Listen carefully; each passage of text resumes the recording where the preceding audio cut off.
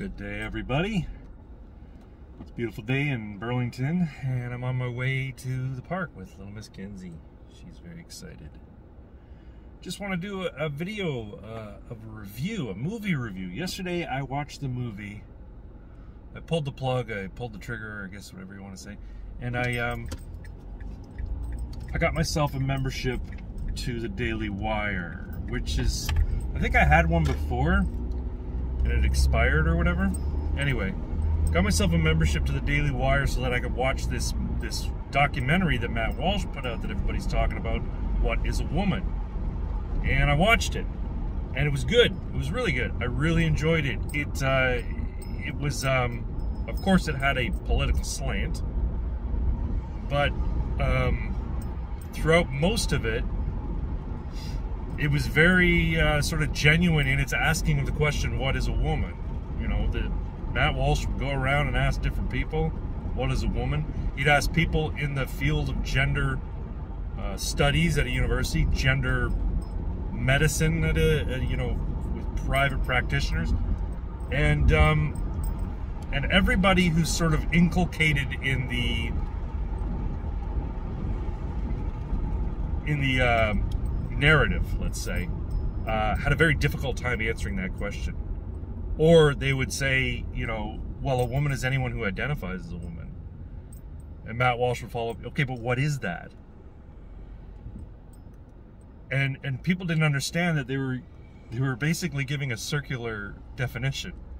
A woman is a woman because it's a woman, you know? God is God because he's God, you know? Um, so it was like uh, it, it, was really interesting to see. Now, of course, documentaries like this, documentaries like Michael Moore's documentary, documentaries, they have a political slant. It's not simply a matter of let's under let's look at the the you know societal implications of climate change, and then you just talk about climate change, right? Which also has a political slant, or you know let's look at you know generation x and find out what they're going through in today's society. That could be a, a very unbiased documentary where you just get testimonials from people who are members of generation x right? Uh, this is a political slant and uh, i think anybody going in to watch it knows that. But it, it was uh, it was really well put together. It was really well done. Uh, great production value. Uh, i'd say better than any michael moore production was ever done. Um, and i think a little bit more honest when it comes right down to it. None of it was like, nothing, it seemed anyway, was taken out of context. Nothing, it seemed, was, you know, uh, um, edited in a manipulative way. Uh, it seemed pretty genuine, but I mean, I'm sure there's going to be people who come out and say, well, this is, you know, he didn't, he edited it in such a way to make my words appear as something different. I mean, these are words right out of the people's mouths, you know, like, like this one woman, this Dr. Forcier, indicated that whenever a child starts to express an interest in transitioning, they can begin transitioning. To which Matt Walsh had a question, well, you know, do you know do you know a six year old who believes in Santa Claus? He's like, yeah, sure.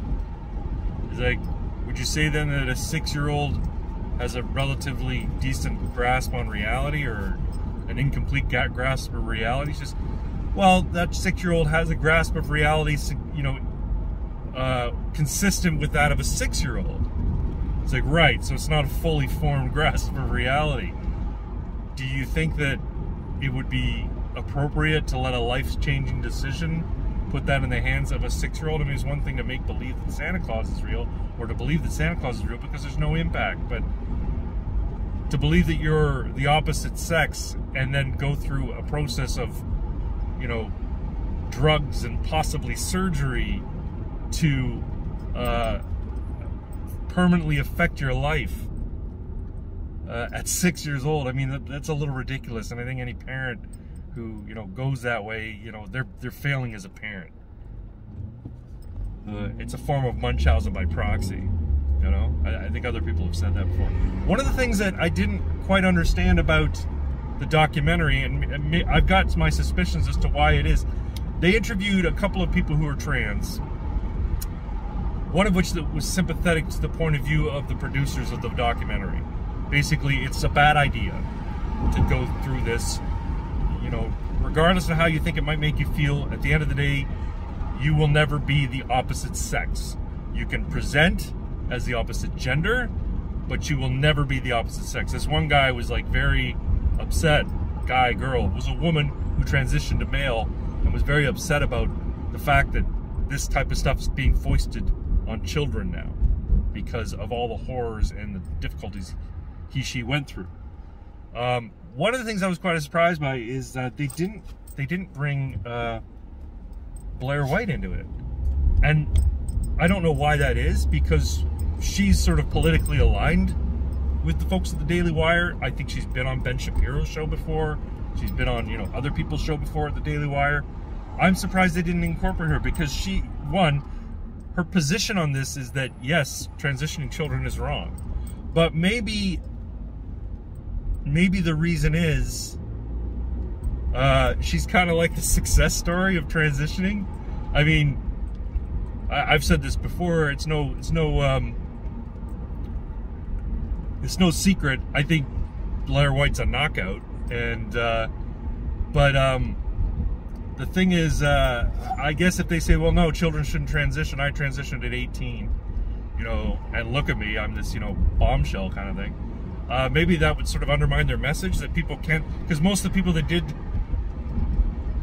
most of the trans people that they interviewed, uh, you know, they look like crude facsimiles of the gender they were trying to present, right? They, they, you know, there was a guy who was become an ugly woman right? Anyway, so maybe you know that would have undermined message. Maybe they had, maybe they had uh, um, footage or, or, or uh, testimony from her, but they found that this other this other trans person's testimony was more heartfelt, or they found this other person's testimony was more compelling, so they just used that. Either way, it's a solid documentary. I recommend that you know what even if you just get like a monthly membership, I signed up for a full year because I support what the Daily Wire is doing anyway. Um, get a monthly membership, become an insider on Daily Wire for just a month, just so you can watch their film content. Uh, I watched Run, Hide, Fight too. That's a really good movie too. I'll do another review on that. Um, I really enjoyed it. It's got some issues, but I enjoyed it. Um, and then there's another one with Gina Carano coming out on the 14th. It's like a western. And then they've got another sort of psychological horror thriller about a woman sort of trapped in a in a pantry or something like that, uh, while her ex boyfriend is terrorizing her and threatening her kids and stuff. Anyway, um, I can't remember what it's called, but I, I want to check that one out too.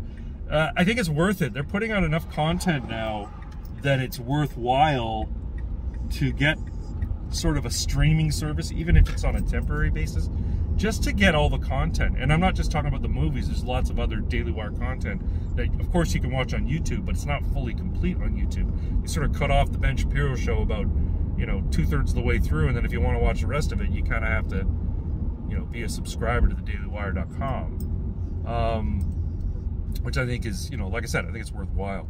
Plus, uh, there's another movie uh, called uh, Hyperions, which is like a uh, an action comedy superhero spoof movie uh, with Cary Elwes, and I've seen that before. I watched it at the premiere before it even went on their website. It was like premiered on YouTube. It's um, it's really good. Uh, it's really enjoyable.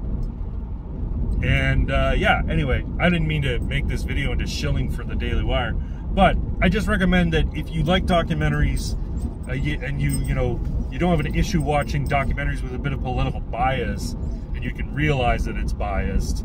Uh, uh, what is a Woman by Matt Walsh and the Daily Wire is a um, it's a damn good one, and I think you should give it a watch. Anyway, I'll talk to y'all later. I'm at the park now. Kenzie's losing her mind, and uh, take care. Bye bye.